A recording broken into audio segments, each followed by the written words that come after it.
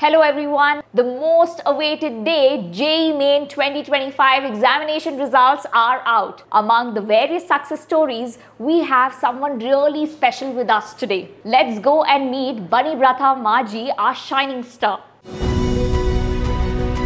What helped you stay on track to achieve this perfect score, Bani? First of all, the micro schedule they give us in Narayana, the planning is like really efficient and you don't have to make plan for yourself. So how did you keep yourself motivated? My mentors kept reminding me of my dream. Also their belief in me helped me keep going during the tough days.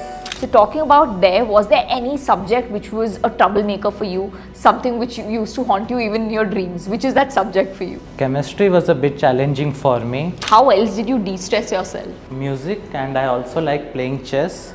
Also Narayana's in-campus games period helped me a lot. So how did you make sure that as parents you motivated him and supported him? dedication to learn. These two years we uh, get a lot of support from Narayana Group. Only IIT or NEET is not the only way. So at least uh, as a life, we should see their interest, where their own interest. We try to give exposure to different fields. So that is for a parents, it is must.